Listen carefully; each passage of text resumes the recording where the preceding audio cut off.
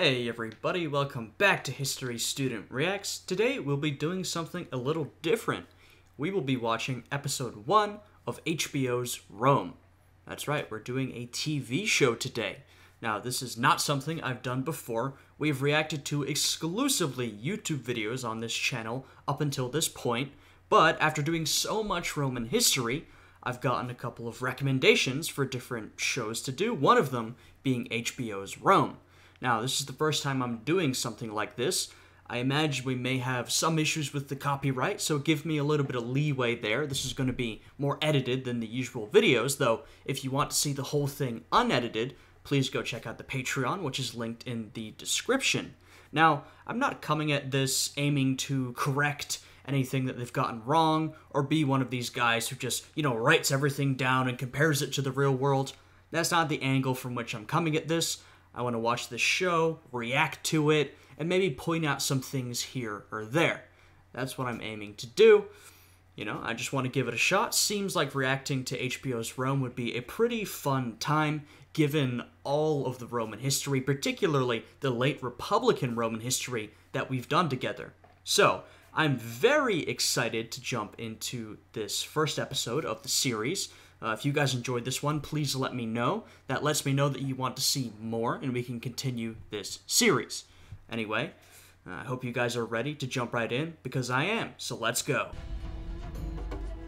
Rome. Alright, here we go. I'm excited. The balance of power is shifting, and the nobility have grown fearful. Mm. Though of noble blood himself, Caesar stands with the common people. A man like that, an aristocrat with soldiers, money, and the love of the people, might make himself king. Yep, Caesar was a reformer. Uh, at this point, judging from how they're describing it, he's still a bit of an upstart, but he's collected a lot of political power. Pompey has the more established career. He's a great general, but one of the reasons he joined up with Caesar and Crassus is because he was struggling to get his political agenda done. Caesar, though he has to force his agenda through, certainly does get it done. He's popular with the people, the plebeians, even though he is a patrician elite. He's a reformer, he's a populist, and he's embarking upon some of his most impressive conquests in Gaul, which will build his military career. So, Pompey and Caesar allies, friends, but Caesar is increasingly becoming more and more of a threat. The legions at work.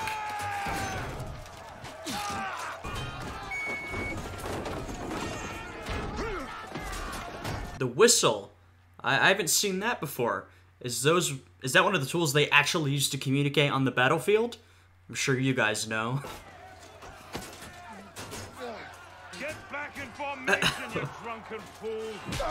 Oh, Jesus. There's that famous Roman discipline. ah. Caesar's camp, 52 BC. Before you, Vercingetorix, son of oh. Celtil, chieftain of the tribe of the Arverni.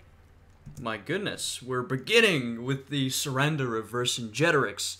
Uh, as we have seen in our Historia Civilis reactions, he was really one of Caesar's more impressive foes, perhaps his greatest foe amongst the Gauls. He commanded a confederation of different Gallic tribes, fought back strongly and smartly against Caesar, but in the end, he was defeated. the rebel stronghold of Alesia. Damn. Caesar!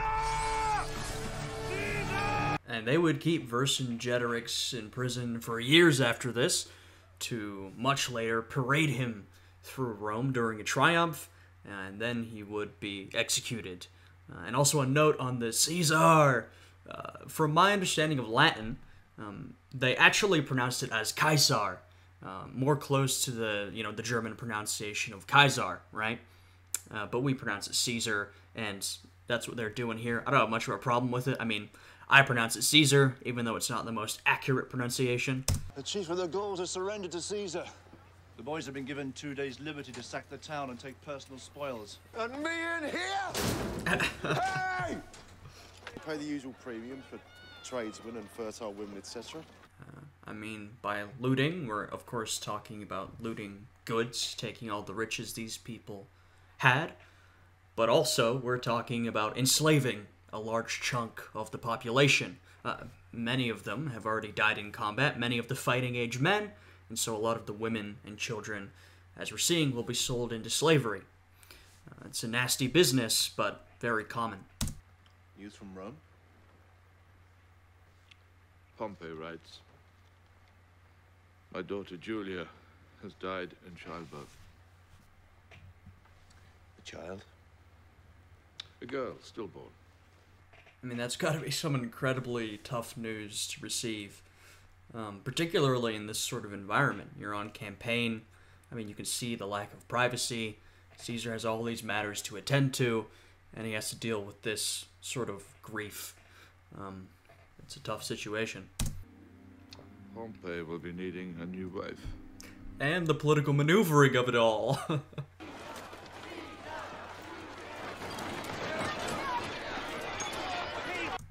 we can see Caesar's pretty popular.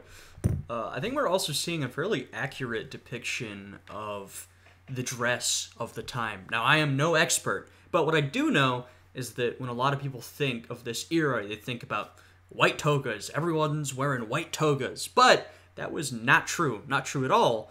Um, and from what I know, this seems like a little more of an accurate depiction of what most people would have been wearing most of the time. What a dreadful noise plebs make when they're happy.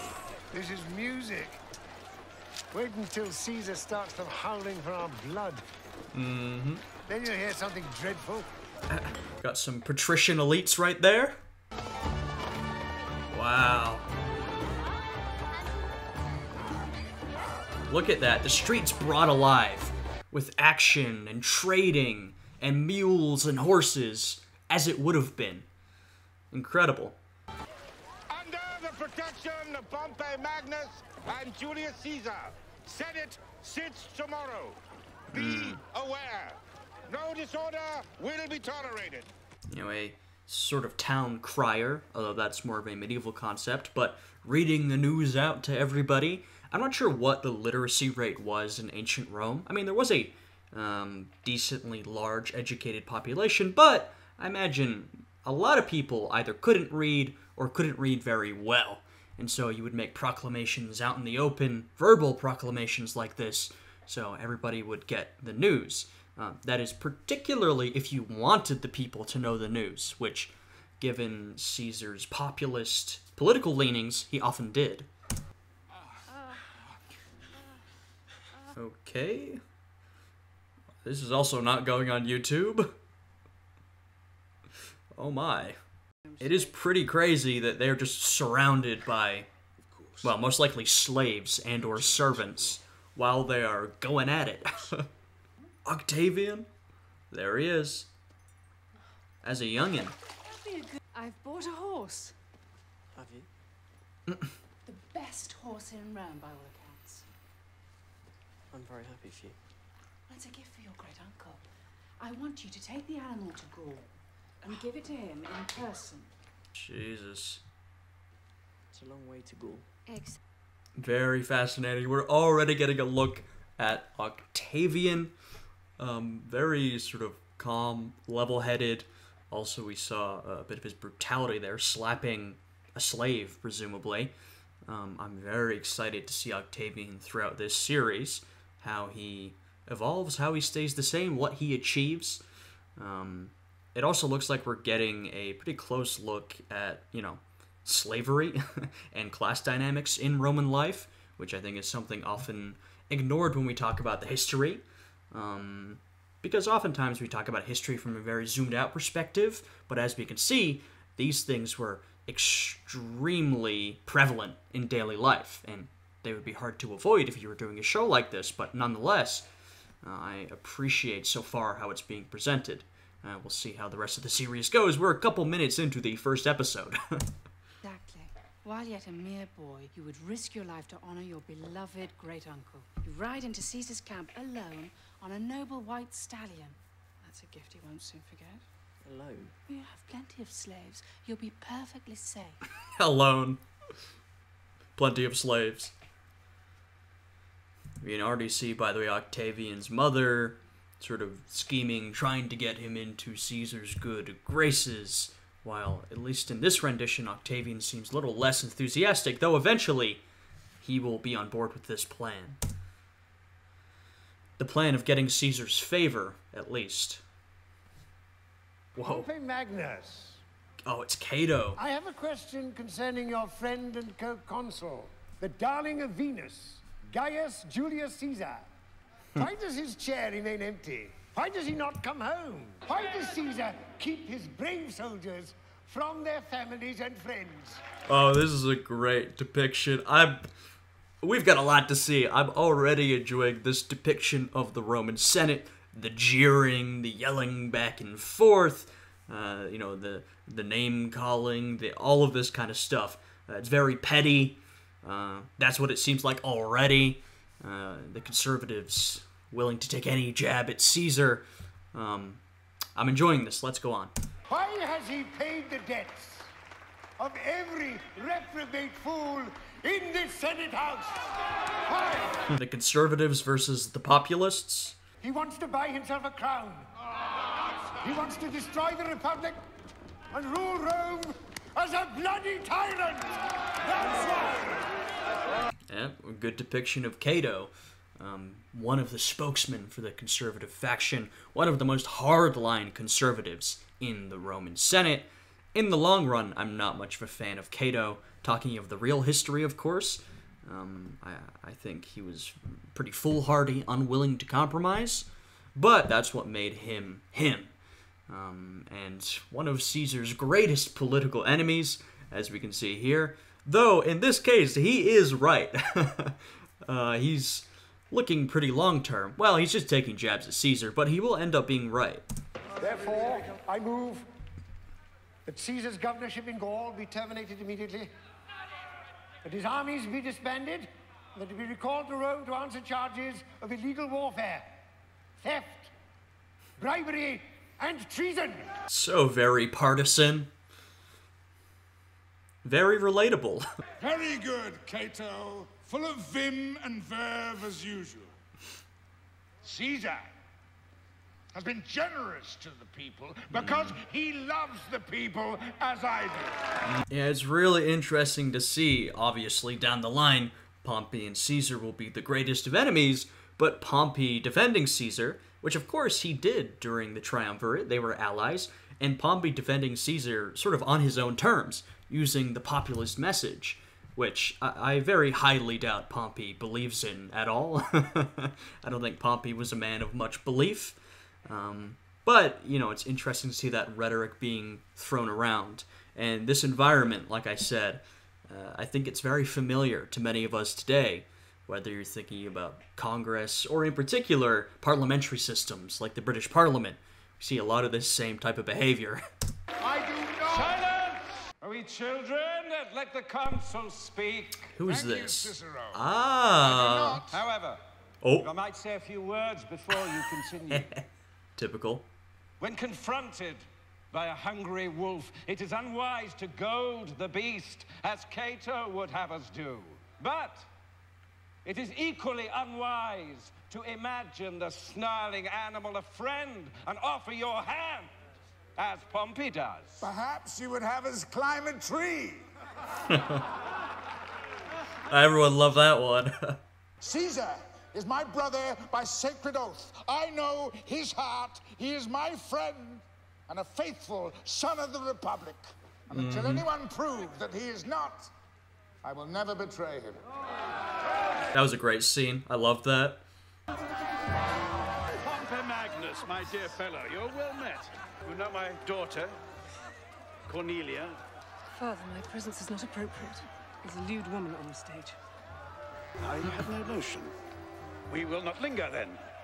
Pompey? I had no notion. Yeah, okay, man. Um, a lot of content which has not ended up on YouTube. Uh, you know, uh, this would get the video age restricted immediately. But once again, we're getting a good look at, um, I would say, regular Roman life, the the pleasures, the entertainment that Romans enjoyed. uh, in their daily lives, stuff that we might not think about very often. If it please you, might we speak alone? Neither we aristocrats alone, nor you and your soldiers alone can crush Caesar. I have no need of you noble gentlemen. I've only to stamp my feet, and legions will spring up all over Italy. Mm. I can squash Caesar like an insect. Yeah, here we go. This is more the real Pompey, at least as I interpret him. He's not a man of the people, as he was talking earlier. He's not even a man of ideology. He's a man of power and authority. And I think we're getting a real close look at that right here. Renounce him, Pompey. Renounce Caesar. Ally yourself with us, and his strength will wither away. Not true. You asked me to openly betray a friend. But if you think that, you know, betray Caesar and eventually you'll be the favorite of the people and Caesar with his trinkets will go away, that is delusional thinking, not true. I cannot do it. Good night. Oh, Cato. But this is typical Cato. Octavian. Silly baby brother. Do we have Octavia here, maybe? Roman men are never scared. He's just sad to be leaving his mama. You're not scared, are you, Octavian? So young. Well, off he goes. Andros? Bring him back safe, or I'll use the eyes of your children for beads. Jesus. The uh, brutality of everyday life. Wow. Look at that view. I'm sorry, sir. The horse was sold already. to Atia of the Julii. She's sending it to Gaul. A gift for Caesar. Damn him! Must he have everything?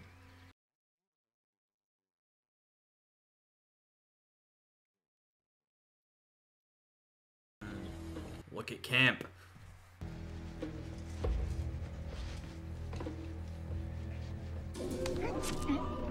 Oh, jeez. Uh-oh. Let me look at you. It's As ugly as ever, I'm afraid. What do we have here? It suits you, Brutus. Oh. How long has it been? Five years? No, six. Now tell me, how's your mother? Same as ever. She sends her love, demands to know why you haven't written during months. Brutus, me old cock. what on earth are you doing here? Oh, Mark Antony, how nice. Oh! Uh, I've been visiting my... We are really setting up some characters here. We got Brutus coming in, Mark Antony. Um, I mean, you can sort of understand the storytelling. We're getting a lot of characters who will be very important down the line, and a lot of characters who will be directly opposed down the line. Uh, not to mention, also, gosh, we can see how young Octavian is compared to these two. I don't know how accurate that was. I, I do think Octavian was quite a bit younger than the rest of them. Um, and I think this is trying to show that going from Octavian to these two. I need, say, a half talent of gold. Do you? See how he trusts me. For the eagle. Of course. Strabo! Give his honor, Mark Antony, a half talent of gold. A half talent of gold. And not a penny more. Typical Mark Antony. What is this about the eagle? My personal standard was stolen by brigands. Oh. Bad. That is a bad business. That is quite dishonorable. Uh, the Roman Eagle standard, very important. Um, I mean, of course, the practical idea is that it brings men together on the battlefield. You can see it, everyone gathers around it. But with a symbol like that, of course, it becomes more than just a practical item. It becomes, well, like I said, a symbol. It means a lot to the Romans. Whenever they lose an eagle standard, that's a big deal. And so to lose one in this way, Caesar's definitely going to want it back. The legions were already homesick and surly when the eagle was taken. Now they're positively mutinous. I'm at my wit's end. Master Octavian. Poor little Octavian.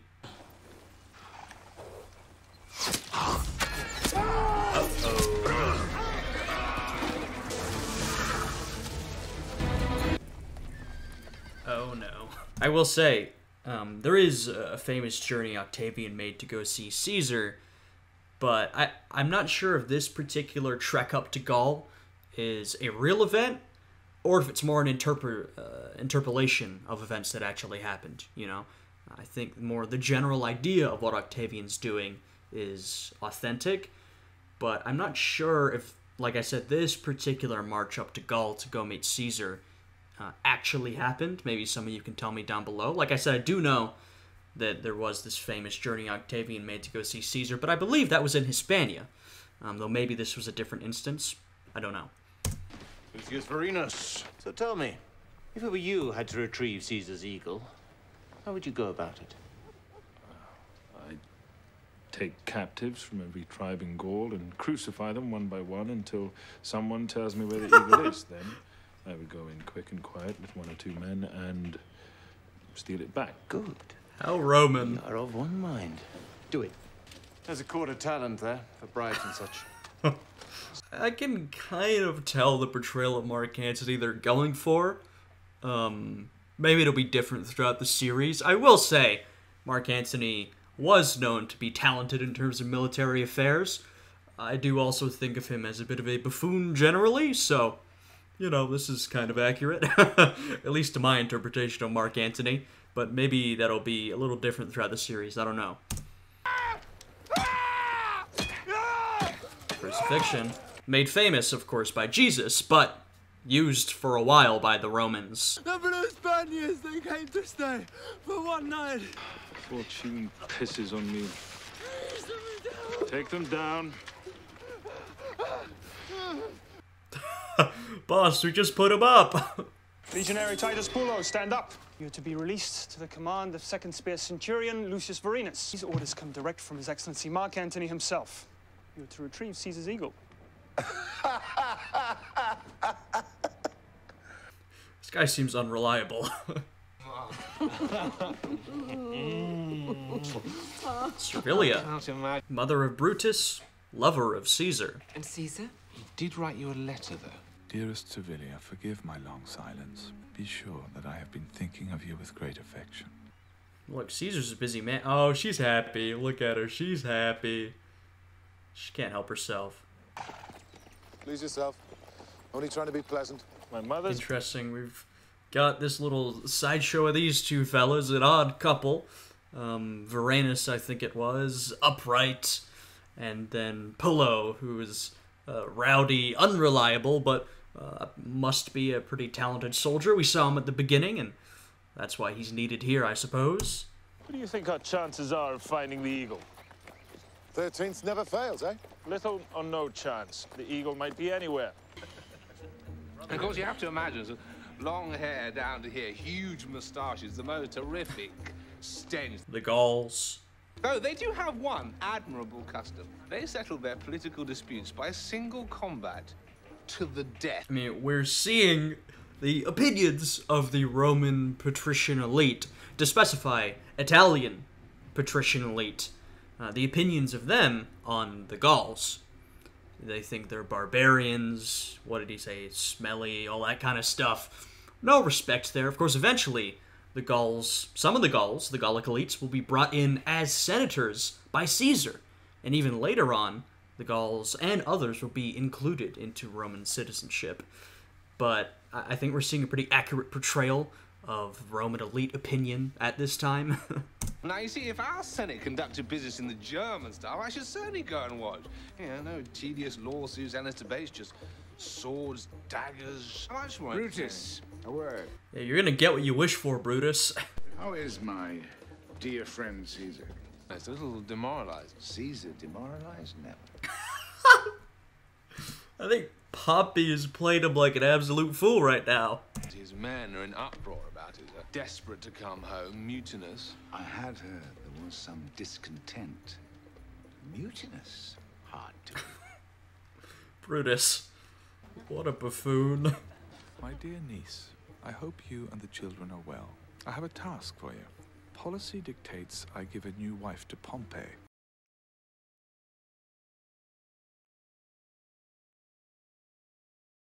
Where's Octavian? He's in Gaul. Oh. He certainly is. yeah, I don't believe this ever happened. As far as I know, maybe I'm wrong, but I've never heard about Octavian getting captured as a child by a bunch of Gauls.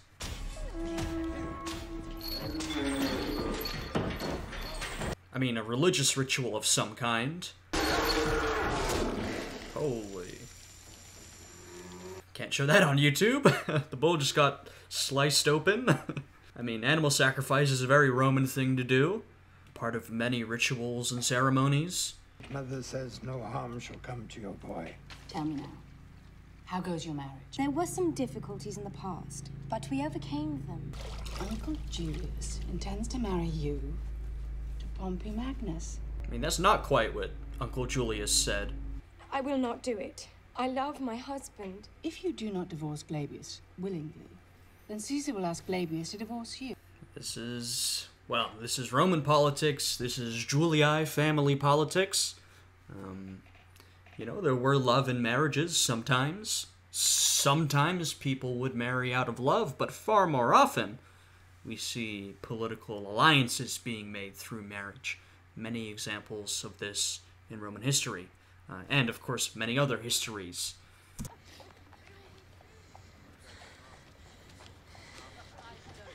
Try to look a little more cheerful, Octavia.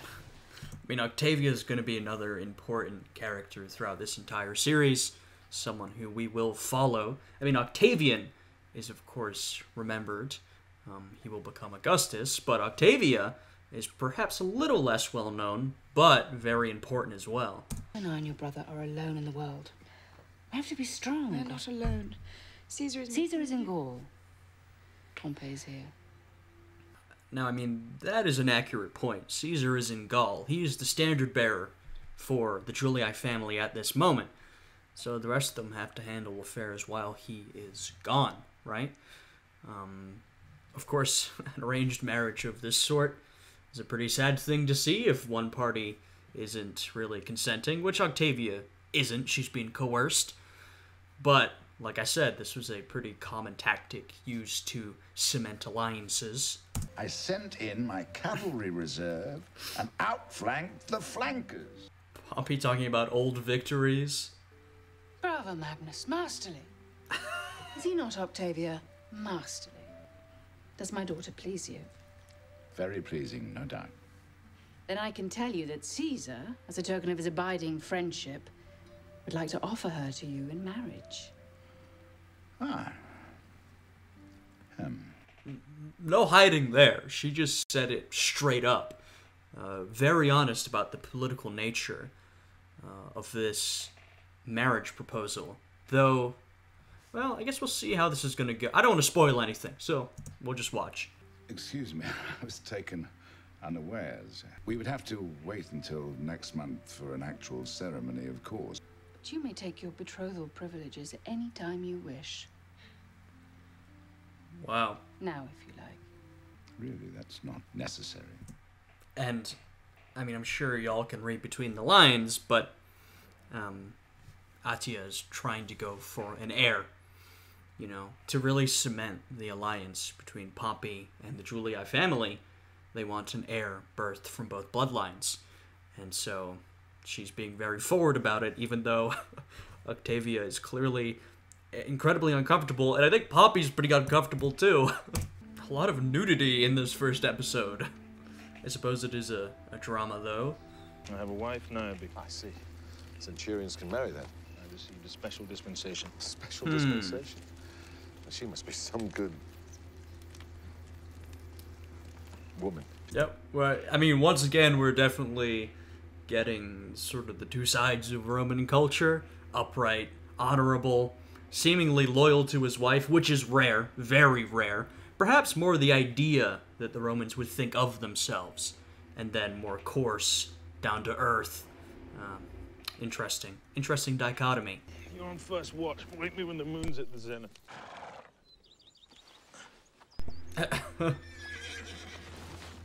First watch.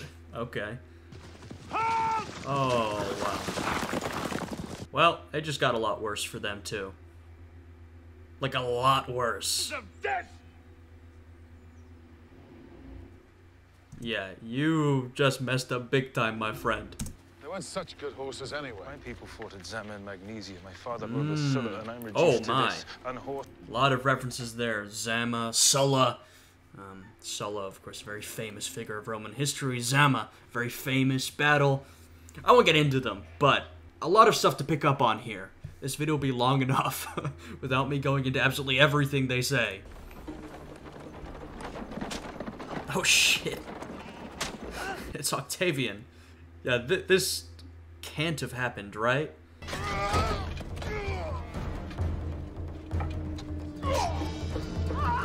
No match for Roman soldiers, eh? Look here, Mars. Look here, Mars. Mm. I am Titus Pullo. These bloody men, my gift to you. Roman god of war. I order you to release me this instant. I'm Gaius Octavian of the Julii. Say please. Please. Humbling Octavian.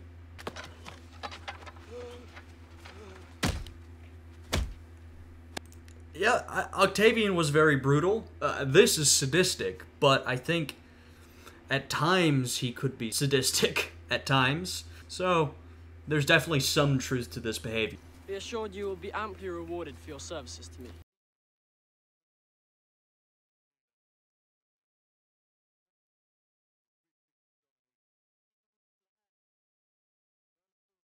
Actually, losing the eagle is useful to Caesar. Hmm. Why would that be useful to Caesar? Because Pompey is no deep philosopher. He will take a symbolic loss for a real weakness. Explain. Smart boy. Caesar doesn't want to strike the first blow against an old friend, so he wishes to lure Pompey into attacking him first. And this is another thing that is this is very accurate in terms of Octavian. The sadism partially true. Uh, he may not have been as sadistic as that, though he was pretty brutal. But this, Octavian was very intelligent. He was an intelligent political operator. He was calm and level-headed. Uh, he didn't bring emotion into his decisions, which is perhaps why he could be so brutal. He, he had very little emotional attachment, and they're doing a good job of showing that intelligence here. Caesar has taken the love of the common people from Pompey, and that was his most prized possession. A battle is inevitable. Wow, quite a prediction.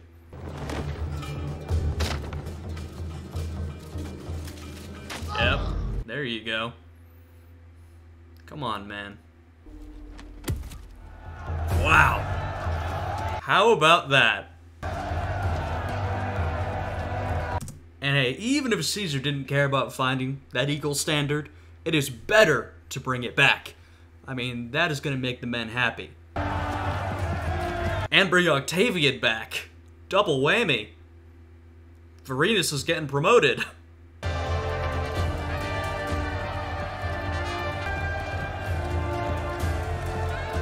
morning, Uncle.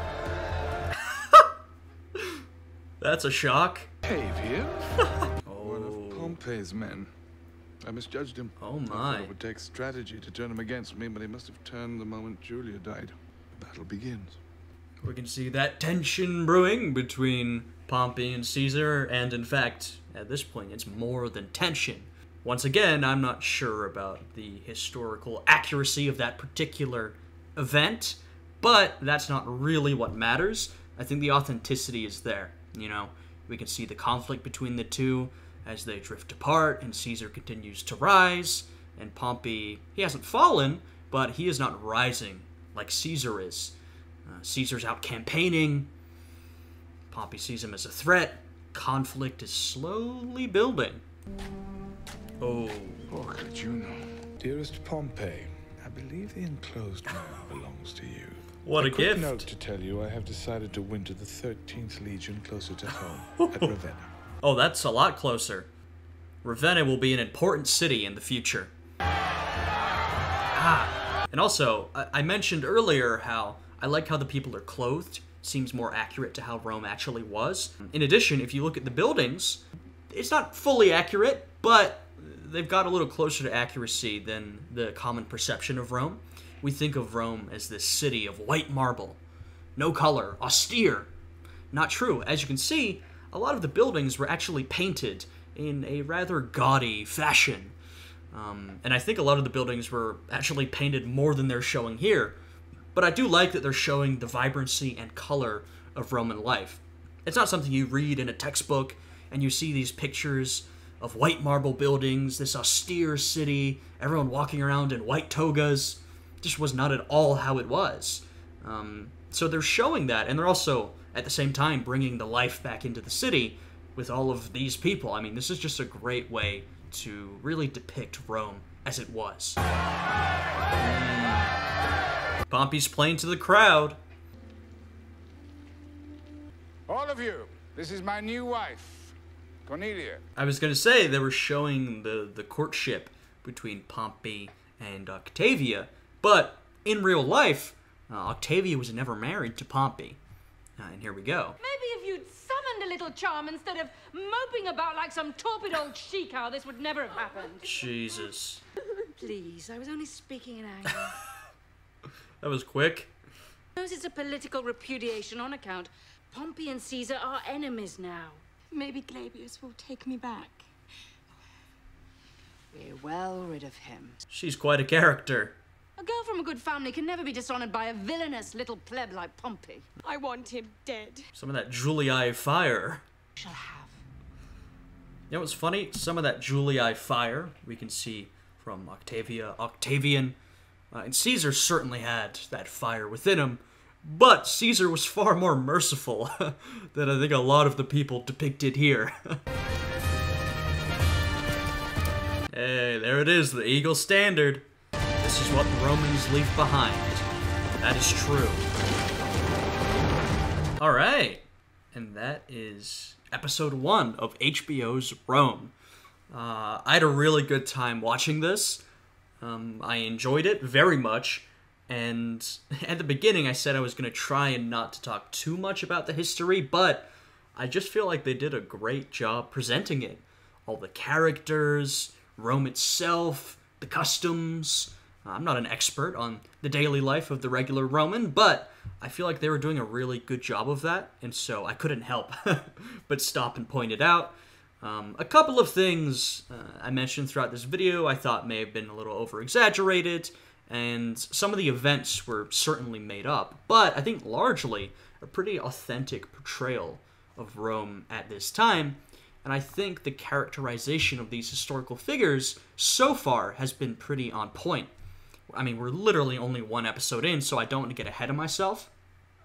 But I know this is a very well regarded series, uh, and a lot of people love it as a depiction of Rome, Roman politics, Roman life. So yeah, I had a great time with this one. Um, I hope you guys enjoyed. Uh, I hope I don't have too much trouble with the copyright on this reaction. Uh, I know it's going to take a lot more editing than usual, so we'll see how it turns out. Um, but if you want to see the entire reaction unedited, uh, and there is certainly a lot that you'll be missing if you're watching this uh, on YouTube, then please check out the Patreon, which is linked down below, where you can see that and all unedited future reactions to HBO's Rome. Uh, anyway, I hope you guys enjoyed this one. I certainly did, and I hope you're all having a good day today. Goodbye, everybody. See you next time.